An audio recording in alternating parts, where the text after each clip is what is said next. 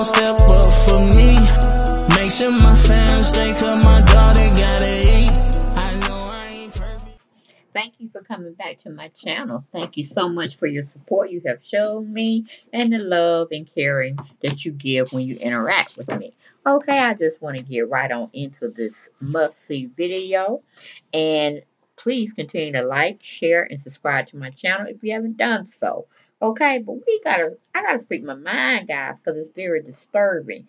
Truly disturbing that rapper who publicly proclaims he's the king of the South, none other than T.I., Clifford Harris, okay? I don't understand why he is out there publicly embarrassing himself for one, and then traumatizing mentally his daughter, Dejanay. Now, to me, it seems like the women in the family should have uh, stronghold him, tied him down to a chair, and said, No, you're not doing this to my daughter. Now, Nico is the mother of T.I.'s daughter, Deyjah. Uh, Deyjah. Now, it seems to me, and I've seen his show, this is Miss Nico, Deyjah's mom, um, and it seems like he takes care of her. He pays everything for her. But I'm also surprised at Tiny. I mean, did he go and do gynecology checks with uh, Tiny's daughter? Okay, he pretty much say he helped raise her, or he raised her, and she was calling him her daddy as well, even though she does have a biological daddy that I'm guessing is in her life. But it's like, okay, did you do that to uh Zonique? Did you go there with Zonique? Are you gonna do that with Harris? Okay, I mean not Harris, uh Heiress. Are you gonna do that with her? I mean, I understand. You're gonna put this poor girl out there. She just graduated high school. It seems like she's got a very firm, logical, uh, well thought out mind on her head, her shoulders, and you are just crashing and burning her in a sense. How could you go on a public platform and say, and Nico, the mother, let you go, take her role as the mother to accompany you all's daughter to a gynecological appointment and then pretty much shove the paper, the HIPAA form, where you handle business up in there from the get go, knowing anything about her hymen. I mean, should you not be entertaining your boys with this talk of how to not break the hymen on a young lady until you're getting ready to marry her, okay? Shouldn't you be telling your boys about not being out there sowing their wild oats and breaking other women and other men, daughters, hymens? Should you be focused there, you would have had a better understanding with the public eye of trying to even wrap their fingers or mind around what you did to your daughter. I mean, T.I., are you crazy? I mean, this is, I think, is your oldest daughter that you've had out of all biologically. She is your, um, I guess, first. But I don't understand why Nico, your uh, girlfriend at the time, I'm sure y'all was messing around long, long way back when and had Deyjah. Did you think about breaking her hymen? Did you think about uh her father and what he may have thought of what you're doing to his young girl? I guess not. I mean, you think you have the answers to everything. You have been bestowed wisdom of all wisdom. And you're going to put your daughter, your flesh and blood, out there on Front Street. I mean, she may have been very close knit and to herself when it came to that personal business. I mean, did you go out there when she was ministrating? Did you go get her some pads or did you leave that to her mom? Pretty sure you left it to her mom. Did you go with her to her um other doctor's visits, like when it's time to check her mammogram? Did you check for lumps in her breasts? You know, did you go and do those annual checkups as well as you trying to figure out did, is she having sex? And my Lord, the child is 18 years old. If you didn't understand this prior to her coming on, having her first cycle, maybe at what, 11, 12, 13, 14, uh, what in the hell are you doing now, T.I.? That's just like a breach of mother and dad father relationship. You're supposed to be the provider. The mother is supposed to be the nurturer, and form the daughter on how she's supposed to conduct herself out here with her body and her mind. She's supposed to do that. You're supposed to run off uh, the boys that she tries to bring there, put fear in their hearts that if you mess with her, you do the unthinkable with her, then I'm coming for you. Or better yet, telling your sons not to be promiscuous out there. Uh, treat a lady how she's supposed to be treated, you know? But no, you're going after your daughter. And that's just piss poor parenting.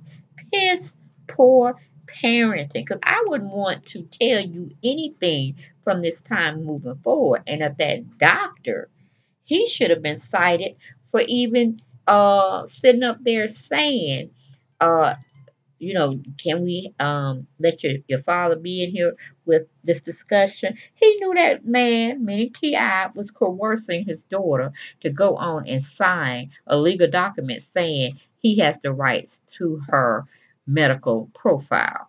Now, come on, why do you even have the HIPAA law? She's 18 under the eyes of the law. So I don't understand where all of this shit is coming from. It to me, it's like a breach of confidentiality uh, between her and her parents, knowing about whatever she's doing out there, and her um, her confidentiality of her medical records uh, being attacked to the a sense of she don't feel comfortable because she knows her father or dad still pays her rent. He still gives her an allowance. He pays probably more than likely for her school out of pocket, but if she's making straight A's and B's, then the government gonna pay for it because she definitely can apply unless she's using his income. And then again, we go back to the drawing board. He's paying for her education. But I'm like, what's good for the goose is good for the gander. If you were out there laying it low, spreading it low, women, laying it, women, laying it low and spreading it wide with other women and men's daughters, then guess what? Should she not have that same effect? Should she not feel like one day I like this young man? He's you know definitely been supporting me emotionally. Uh I think I want to have sex. I'm preparing myself. Um uh getting the condoms. I'm getting the spray. Uh it's you know uh what do you call it? Um medicine to keep uh, sperm from swimming up in you, you know, side or something like that uh, I'm doing everything I can do to keep from being pregnant, but I want to have a a, a time or emotion where I can express my desires with a man. You know what I'm saying? I mean, come on, T.I. You were once there. You probably started early, maybe 13, 14, uh, taking little girls' hymens, okay, for your pleasure. You didn't think about that. But you, my whole thing was, it was just, where is the mother? Where is the grandmother? Where is Tiny? I'm just ashamed more so at the women that's surrounding this young lady uh, to put up with this nonsense that T.I. is out there doing on his daughter. It's just absurd and crazy. I even blame the damn doctor that she going to. But I guess when you sub, uh, wait, self-servant to T.I., Miss Nico, which is Deyjah's mother. And he's used to telling Tiny what to do, and she's self-serving him as well. I think he don't change his religion. I don't think he black anymore.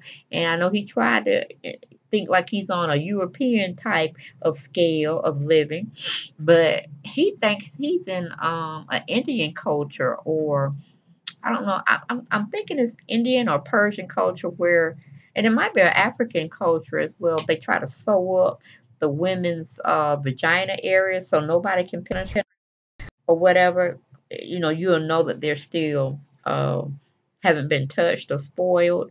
How most uh, people talk about it in that uh, way of thinking uh, and understanding.